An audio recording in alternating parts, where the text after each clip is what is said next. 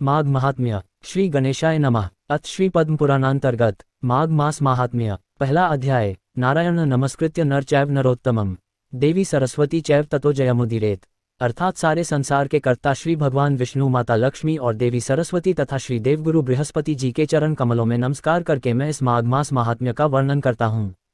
एक समय श्री सूत जी ने अपने गुरु श्री व्यास जी से कहा, है आदरणीय गुरुदेव, कृपा करके आप मुझसे माघ मास का महात्म्य कहिए, क्योंकि मैं आपका शिष्य हूँ। व्यास जी कहने लगे कि रघुवंश के राजा दिलीप एक समय यज्ञ के स्नान के पश्चात सुंदर वस्त्र पहनकर शिकार की सामग्री से युक्त, कवच और शोभायमान आभूषण पहने हुए अपने सिपाहियों से घिरे हुए जंगल में शिकार खेलने के लिए अपने नगर से बाहर निकले। उनके सिपाही जंगल में शिकार के लिए मृग, व्याघ्र, सिंह आदि जंतुओं की तलाश में इधर उधर फिरने लगे। उस वन में वनस्थली अत्यंत शोभा को प्राप्त हो रही थी। वन में कहीं वृक्षों पर मोर नाच रहे थे। कहीं कहीं मृगों के झुंड फिरते थे। कहीं गीदड़ अपना भयंकर शब्द कर रहे थे। कहीं गैंडों का समूह हाथियों के समान फिर रहा था। कहीं वृक्षों के कोटरों में बैठे हुए उल्लू अपना भयानक शब्द कर रहे थे। कहीं सिंहों के पदचिन्हों के साथ घायल मृगों के रक्त से भूमि लाल हो रही थी। कहीं दूध से भरी थनों वाली सुंदर भैंसें फिर रही थीं। कहीं पर गंधित पुष्प हरी हरी लताएँ वन की शोभा को बढ़ा रही थीं। कहीं बड़े बड़े पेड़ खड़े थे तो कहीं पर उन पेड़ों पर बड़े बड़े अजगर और उनकी केचुलियाँ भी पड़ी हुई थीं। उसी समय राजा के सिपाहियों के बाजे की आवाज़ सुनकर एक मृग वन में से निकलकर भागने लगा और बड़ी बड़ी चौकड़ियाँ भरता हुए आगे बढ़ा। राजा ने उसके पीछे अपना घोड़ा दौड़ाया, परंतु मृग पूर्ण शक्ति से भागने लगा।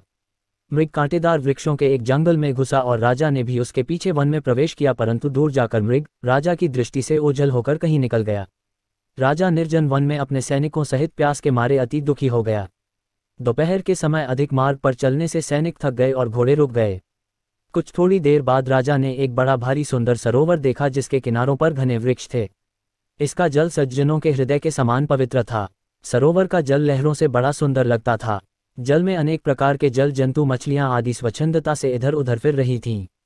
दुष्टों के समान निर्दयी चित्त वाले मगरमच्छ भी थे। किसी किसी जगह लोभी के घर के समान सिमाल भी पड़ी हुई थीं। जैसे विपत्ति में पड़े हुए लोगों के दुखों को हरने वाले दानी पुरुष के समान यह सरोवर अपने जल से सबको सुखी करता था। जैसे मेघ चालक के डक को हरता है। इस सरोवर को देखकर राजा की थकावट दूर हो गई। रात्रि को राजा ने वहीं विश्राम किया और सैनिक पहरा देने लगे और चारों तरफ़ फैल गए। रात के अंतिम समय में शुकरों के एक झुंड ने आकर अंतिम समय में पानी पिया और कमल के झुंड के पास आया तब शिकारियों ने सावधान होकर शुकरों पर आक्रमण किया और उनको मारकर पृथ्वी पर गिरा दिया। उस समय सब शिकारी कोलाहल करते हुए बड़ी प्रसन्नता के साथ राजा के पास गए और राजा प्रभात हुआ देखकर उनके साथ ही अपनी नगरी की तरफ़ चल पड़ा। रास्ते में एक तपस्वी को देखा, जिसका शरीर तपस्या और नियम के कारण बिल्कुल सूख गया था, जो मृगछाला और वलकल पहने हुए था। राजा ने ऐसे घोर तपस्वी को देखकर बड़े आश्चर्य से उसको प्रणाम किया और हाथ जोड़कर खड़ा हो गया। तब तपस्वी ने राजा को कहा कि, हे राजन, इस पुण्य शुभ माघ में इस सरोवर को छोड़कर तुम यहाँ से क्यों जाने की इच्छा करते हो? तब राजा कहने लगा कि, महात्मन, मैं तो माघ मास में स्नान के फल को कुछ भी नहीं जानता, कृपा करके आप विस्तारपूर्वक मुझको बतलाए। इति श्री पद्म पुराणांतर्गत प्रथम अध्याय समाप्त।